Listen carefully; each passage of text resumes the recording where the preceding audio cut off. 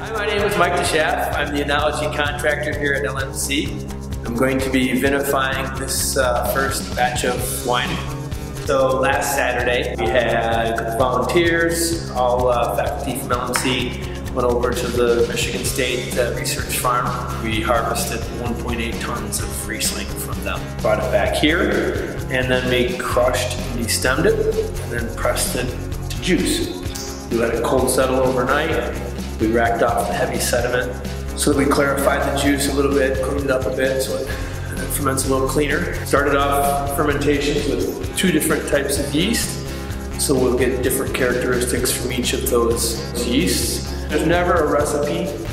It's always trying to take what the grape is giving me and making that the best that it can be. So yeah, I'm really looking forward to cracking open this first uh, bottle of wine and seeing what it's like.